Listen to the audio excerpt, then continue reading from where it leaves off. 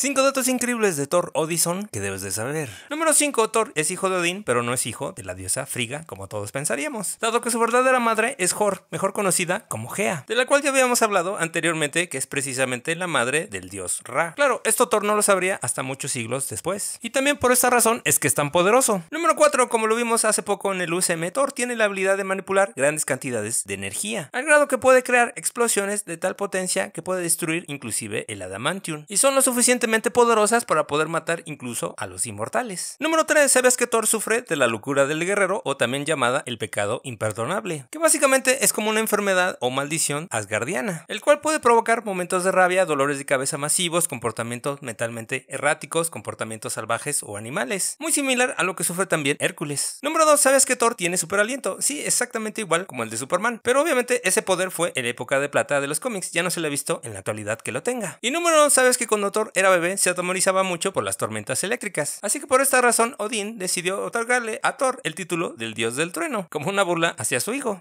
¿Qué el qué?